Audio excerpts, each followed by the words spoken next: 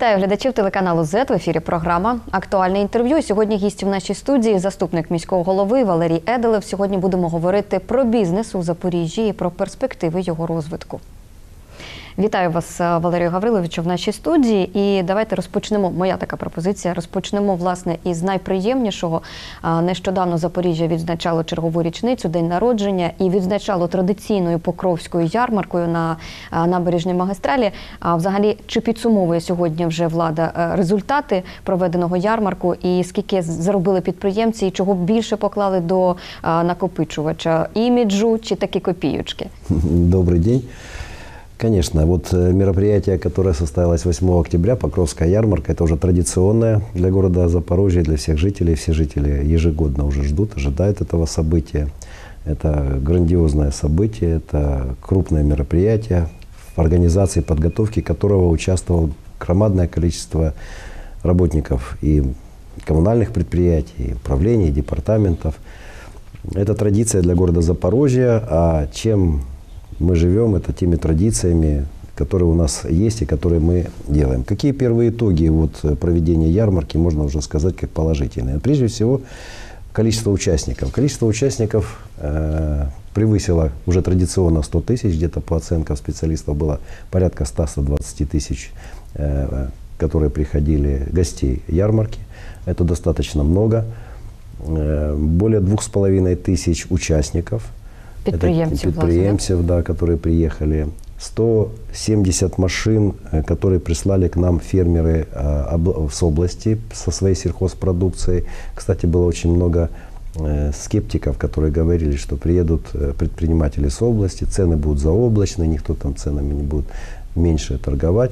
Я хочу сказать, что, ну, во-первых, э, те 170 машин, которые приехали, практически к 10 утра были все распроданы. То есть жители ждали этой сельхозпродукции.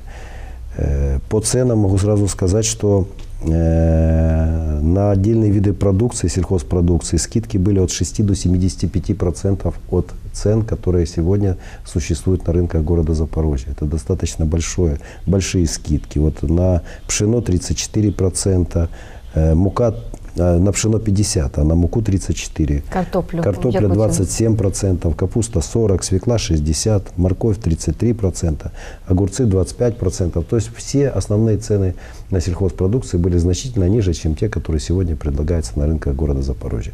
Что является тоже достаточно большим вкладом в эту Покровскую ярмарку. Все районы, которые участвовали, их было я уже сказал, практи- практически двух с половиной тысяч участников, плюс 35 районов, которые были, они показали э, свой район с самой лучшей стороны. Это были художественная самодеятельность, песни, пляски, э, подделки, все что угодно. Конечно же, было весело, хорошо, немножко подпортила общую картину погода, но погода Ну, власне, розпродатися е, ви правильно вже зазначили, ще до 10-ї години встигли. А дощ е, зіпсував більше концертну програму, аніж шопінг традиційний покровський. Да? Так, от, власне, до е, мого запитання, скільки грошей заробили на цьому ярмарку, і ну, взагалі чи підраховує міська влада якраз прибутки із цього заходу, не тільки грошові, маю на увазі, в тому числі і іміджеві, тому що на е, цей рік запрошували навіть е, підприємців із інших областей. Я е, пам'ятаю. Да, у нас и традиционно с других областей, э, из Днепропетровской области, как правило, приезжают, с Харькова приезжают, с Черкас, с Ивано-Франковска приезжают. Э, Много приезжают из других горо- э, областей наших гостей, а с каждым годом все больше. Это правда. Но в данном случае основные прибыли это все-таки не та, что поступает в бюджет, это имиджевая. Мы сегодня выходим на несколько другой уровень ярмарки. Э, Мы хотим ее сделать всеукраинской, всереспубликанской. Вот. э, Мы уже приглашали сюда иностранных гостей. У нас был консул, э, генеральный консул Германии должен был приехать. Приехал с Линца, заммэра.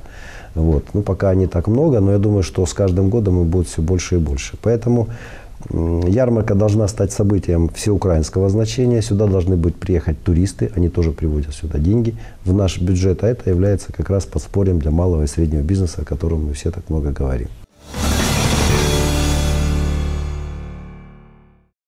І ще одна подія, е, яка якраз на цьому тижні е, сталася, і можна напевно вже підсумувати певні результати. Інкофорум е, вчора буквально у середу його відвідав і прем'єр-міністр України пан Гройсман. Власне, як оцінюєте подібні заходи?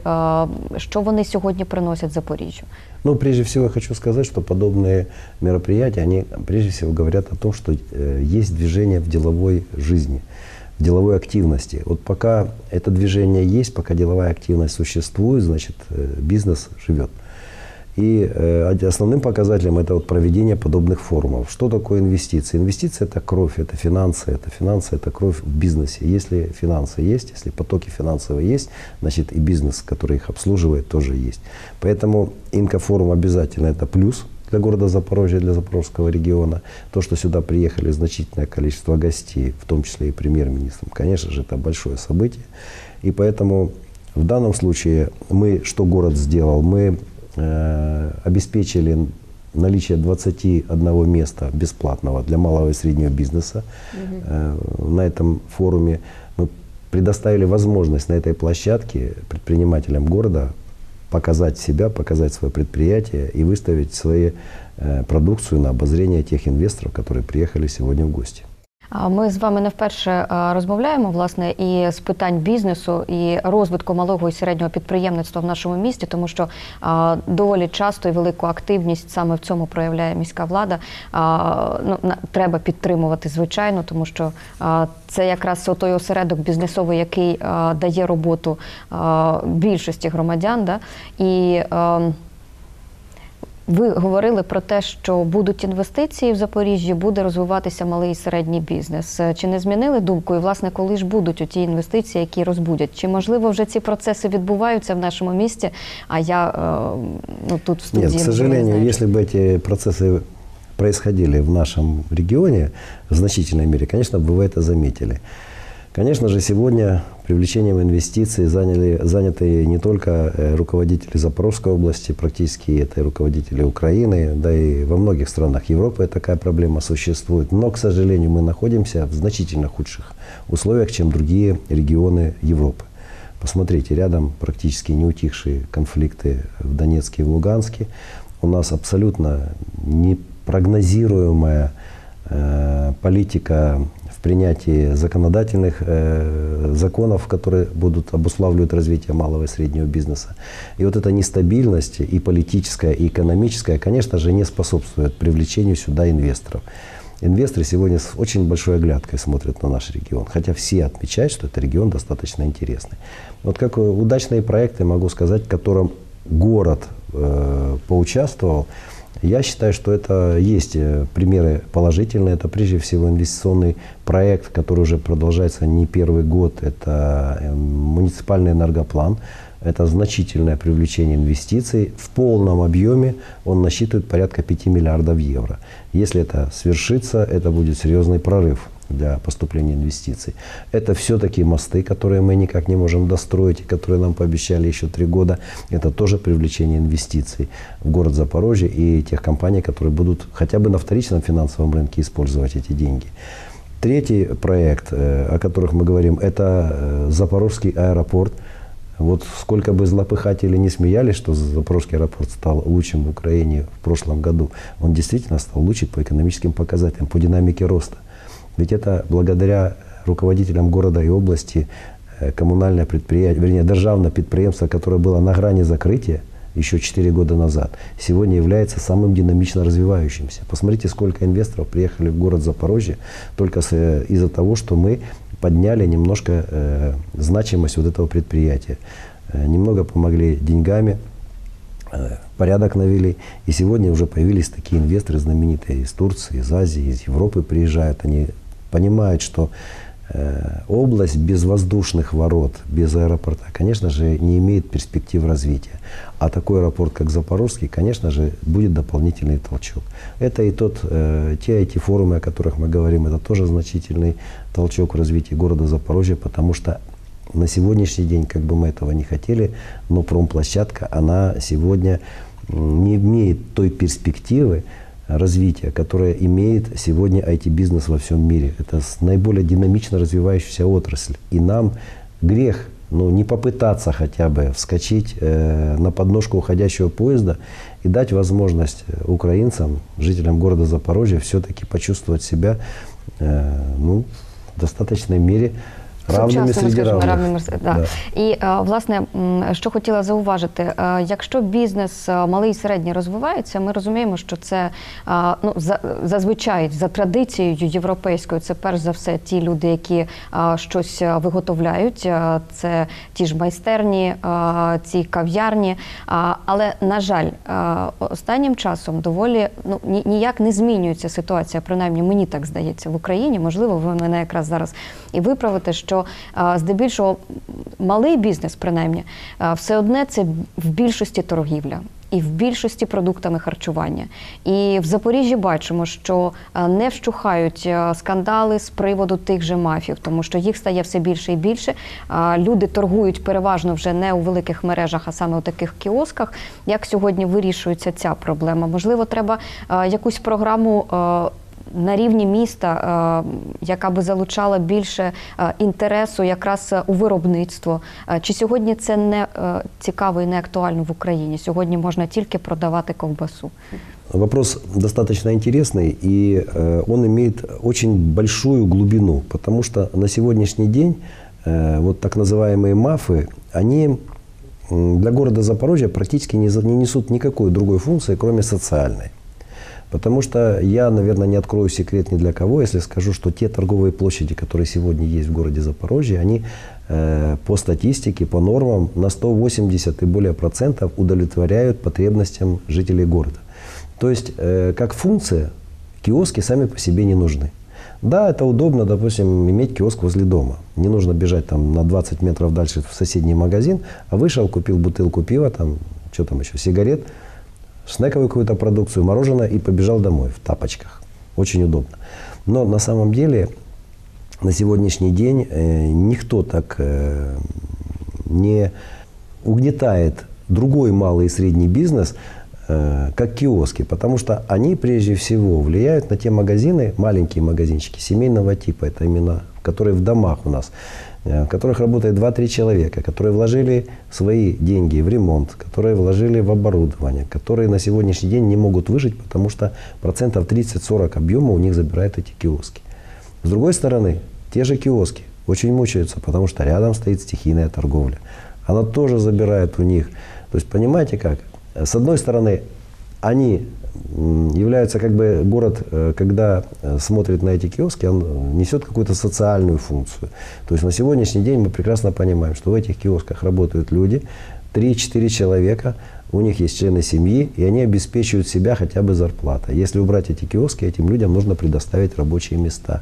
А с этим, к сожалению, и в Запорожье, и в Украине Скільки за останній час у Запоріжжі відкрилося кіосків, які би торгували саме снековою продукцією, а не ковбасою? Э, На сегодняшний день я вам скажу, что у нас с 1 января, по-моему, этого года э, наложили мораторий на вообще открытие новых киосков, и сегодня принимается какое-то принципиальное решение для того, чтобы определиться, в конце концов, в каком направлении идти с этими киосками. Все прекрасно понимают, что киоски не украшают город Запорожье. К сожалению или не к сожалению, но они не украшают. Все прекрасно понимают, что на сегодняшний день торговых площадей в тех же сетевых магазинах, в малых э, магазинах так называемого подскока, которые рядом в доме, тоже достаточно много. Все прекрасно понимают, что на рынках города Запорожья существует порядка 10-15 тысяч э, ежемесячно пустых мест, где можно торговать. То есть все это есть, торговых площадей много. Тем не менее, все тоже понимают, что закрыв все киоски, мы громадное количество людей оставим без зарплаты. Вот это та проблема, на которую, на которую сегодня пытается разрешить городская власть, и пока ну, реального ответа мы не нашли. А ще один цікавий проект. е, Я думала, ви про нього розкажете, коли ми говорили про е, результати, власне, е, яких сьогодні е, досягла міська влада. А про проект Канадський проміс. Е, Чи продовжується співпраця із ним, власне, і в якому напрямку? Да, это прекрасный проект. Э, Мы с удовольствием э, э, сотрудничаем сегодня с канадским правительством, с канадскими муниципалитетами. Они предложили Запорожской области в числе э, пяти областей Украины, это как пилотный проект, э, поучаствовать в этом проекте. Цель его – это с помощью э, специалистов европейского уровня, подготовить э, план развития города Запорожья до 2020 года и план развития малого и среднего бизнеса для города Запорожья. Это тот нормативный документ, которого так требуют э, и общественность, и представители малого и среднего бизнеса, чтобы этот нормативный документ был в городе. Он должен быть принят депутатами городского совета, после этого он уже обретает какую-то законодательную базу. Уже сегодня э, представители готовы э, его анонсировать, этот проект. Мы уже проделали достаточно большой объем работы, и я очень надеюсь, что в конце октября, в начале ноября мы сможем этот проект уже в готовом виде показать и дать общественности на обсуждение. Запоріжжя промислове. Сьогодні доволі цікавий меморандум було підписано між промисловими підприємствами і міською владою. Власне, як ви особисто оцінюєте подібні речі? Наскільки вони сьогодні є ефективними і знаходять відгук, звичайно, і серед жителів міста? Вы имеете в виду меморандум по экологии? Звичайно. Да. Ну, действительно, проблема, экологическая проблема сегодня для, для жителей города Запорожья достаточно актуальна. Я не покривлю душой, если не скажу, что в каждой семье запорожцев в той или иной степени э, проблема экологии сказывается на здоровье членов их семьи. То ли это аллергия, то ли это онкологические заболевания, то ли еще что-то. Ну, наверное, в каждой семье в городе Запорожье такие проблемы есть. Это громаднейшая проблема э, для жителей города, и она требует какого-то разрешения. Я хочу, чтобы э, все понимали, наверное, все это понимают, что эта проблема родилась не вчера. Она родилась в 30-е годы прошлого столетия, когда было принято решение сделать промплощадку. И когда на территории промплощадки было принято тем правительством в 30-х годах э, жителей города Запорожья поселить практически под забором этих крупных предприятий. Да, это была ошибка, но эта ошибка была сделана уже даже не нашими отцами, а нашими дедушками и прадедушками. Это исторический факт, и мы уже от него никуда не уйдем. На протяжении всего этого времени проблема не решалась, она только переносилась из одного времени в другое, и вот на сегодняшний день она нам досталась в том виде, в котором она есть. Серьезная проблема. Тем не менее, тем не менее, ее нужно решать. И э, вот в новой каденции депутатов и с приходом Виктора Владимировича Буряка была поставлена задача э, найти новые формы. Э, Мы предложили руководителям крупных предприятий, промплощадки, подписать меморандум. Для чего этот меморандум? Каждое из предприятий имеет какие-то норм- какие-то планы э, по работе с э, оборудованием, которое влияет на очистку воздуха, водной среды и других объемов, которые есть, там выкида пыли, выбросы пыли. Но мы предложили всем предприятиям рассмотреть возможность о дополнительных мерах, и эти меры будем контролировать не Киев, не область, а именно город, потому что меморандум подписывается между руководителями предприятия и городом. И действительно такой меморандум был подписан. И сегодня уже есть достаточно хорошие результаты. Вот э, 26 мероприятий по сокращению выбросов загрязняющих веществ в атмосферный воздух э, был подписан с планируемым общим снижением выбросов более чем 1700 тонн в год. Так вот, из 15 мероприятий, имеющих окончательный срок выполнения в 2016 году, за три месяца действия меморандума выполнено 8 с общим снижением выбросов более чем на 700 тонн в год. То есть на более чем на 700 тонн выбросов э, в городе Запорожье уже в этом году меньше, чем это было бы, если бы такой меморандум не был подписан. Есть еще целый ряд других мероприятий, которые были сделаны и по воде, и по выбросам, и по газоочистке. Э, Достаточно много этих мероприятий. Там даже более того скажу, мы планировали вместе с предприятиями э, около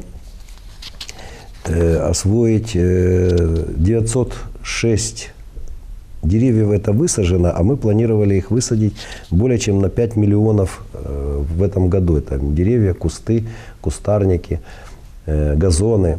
Все это выполнено будет однозначно, потому что уже в большей степени это выполняется.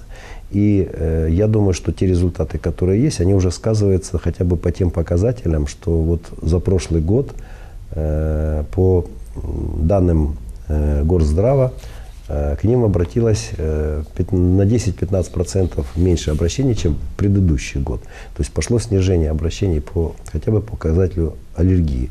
Да, это маленький шажок вперед, очень маленький, но это шаг вперед, не назад. И это уже радует. Я так розумію, що ви зараз е, е, власне проговорили майже і те, що міська влада е, цей рік е, використовує доволі цікаві сучасні технології у боротьбі з абрузією, так само алергеном, Да, який да. дуже впливає на здоров'я наших е, жителів. е, Я больше Запоріжжя. скажу, понимаете как, это опять-таки нет э, пророка в своем отечестве. Мы получаем достаточно много критики, но это, я думаю, нормально. Но все регионы Украины на сегодняшний день, очень многие, и это и факт э, есть, э, на сегодняшний день перенимают тот опыт борьбе с э, амброзией, который у нас сегодня в Запорожье. Это целые регионы. Они впрямую говорят, что мы используем опыт города Запорожья. В этом месяце нет, а вот в ноябре месяце мы планируем провести в Запорожье круглый стол, куда пригласим всех представителей Украины, которые, перенимая наш опыт, тоже продолжают бороться с амброзией, в том же активно, так как и мы. Мы поделимся опытом, то, что мы сделали, послушаем, что они нового приделали. Обязательно покажем новое оборудование, которое мы в этом году приобрели. Это оборудование э, рекультивации и гидропосева. Это очень интересное оборудование, современное зарубежное оборудование, которое поможет громадные площади засевать специальными травами, которые угнетают амброзию. То есть, когда мы уничтожаем посевом и химическим способом, вот убираем эту амброзию, важно не дать взрасти новым росткам. А это только происходит в том случае, если засеять именно эти площадя новыми сортами травы, которые не дают возможности расти амброзии. И это мы будем делать тоже. К сожалению, пока сделано очень мало, но уже что-то сделано. В следующем году я планирую сделать гораздо больше. Валерій Гаврилович, вже не так часу багато залишилося до завершення нашої програми, і е, хотілося б поставити вам запитання. Е, маю надію, що дасте відповідь е, відверто. До місцевого самоврядування свого часу ви ж прийшли так само із бізнесу і були представником е, бізнес-еліти тут у Запоріжжі. Чи займаєтеся бізнесом сьогодні? Да, мне посчастливилось все-таки поучаствовать в становлении развития бизнеса и в Украине, и в Запорожье. И достаточно активно занимался им. Это в начале, в конце 80-х и до 98 -го года. В 98 году, к сожалению, мне пришлось прекратить э, активно заниматься бизнесом, потому что Александр Владимирович Полик тогда пригласил работать на его избирательной кампании. Я, кстати, трижды руководил его штабом избирательных кампаний. Это в 98 в 2000 и 2002 году. Трижды он шел на выборы мэра, и я трижды работал с ним. Ну, а работа на госслужбе, она не предполагает э, возможность развиваться и работать в бизнесе. Поэтому, к сожалению, как бизнесмен, на мне закончился еще в 2000 году. Е, Тим не менше, сьогодні велика кількість людей е, сум- м, займаються сумісництвом, е, маю на увазі, і е, чиновником е, працюють, і е, бізнесом е, займаються і продовжують, і не полишають. Е, Ви виняток у цій ситуації виявляється. Давайте так говорить. Закон вообще-то запрещает заниматься и бизнесом, и быть чиновником. Так что если есть кто-то и занимается, то он явно нарушает закон, действующее законодательство. Вот. Я глубоко уверен, что заниматься бизнесом, работать чиновником – это невозможно. Это быть э, на двух стульях сидеть невозможно. Нужно защищать интересы либо э, громады, либо свои личные, работая бизнесом. Поэтому зачастую, работая бизнесменом, э, должно быть в противоречие входить свои личные интересы с интересами громады. Е, наверное, Три невозможно. якості, е, які дозволяють людині е, стати успішним бізнесменом. Все ж таки е, досвід у вас є, тим більше е, саме е, сьогодні на своїй посаді ви все одно займаєтеся із людьми, які займаються бізнесом, в свою чергу. Е, Три е, якості, які дозволяють е, досягти успіху незалежно від того, в якій країні вони це роблять. Я бы ответил на ваш вопрос несколько шире. Знаете, вот э, большим и успешным спортсменам действительно масштаба глубокого нельзя научиться, им нужно родиться. Э, Поэтому так и э, достаточно большим и успешным бизнесменам научиться невозможно быть. Да, научиться э, каким-то основам ведения бизнеса, наверное, можно. Но успешным предпринимателем становятся люди, которые вложено при рождении какие-то определенные Тобто качества. талант. Это талант, да. Это талант, это возможность заниматься бизнесом, и это есть предрасположенность. К сожалению, таких людей в мире не так много. И это общепринятая статистика. Ну, 10-15%, наверное, не больше тех людей, которые действительно могут заниматься бизнесом. Я имею в виду успешным и достаточно хорошим. Но вот микробизнесом на уровне там двух-трех предпринимателей, наверное, научиться можно. При желании, при определенных условиях, которые создает государство. Это и кредитование льготное, это и другие льготы, которые даются возможности людям. Для чего? Для того, чтобы потом этими людьми не заниматься на бирже труда. Пусть лучше эти люди сами зарабатывают себе деньги в рамках действующего законодательства, содержат себя и свою семью. Вот такая политика европейских стран, она достаточно успешно работает и в Голландии, и в Германии, и в Бельгии, ну, во всех развитых европейских странах. К сожалению, у нас еще этого нет. Но к этому нужно стремиться. Дякую вам за можливість поспілкуватися в цій студії. А нашим глядачам нагадую те, що доволі часто роблю в цій програмі. Запоріжжя це місто талановитих людей, а отже, і талановитих бізнесменів. Це була програма Актуальне інтерв'ю на телеканалі ЗЕТ. До нових цікавих зустрічей в цій студії.